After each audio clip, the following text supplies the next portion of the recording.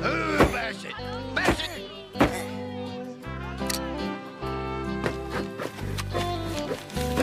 Kill it, boy!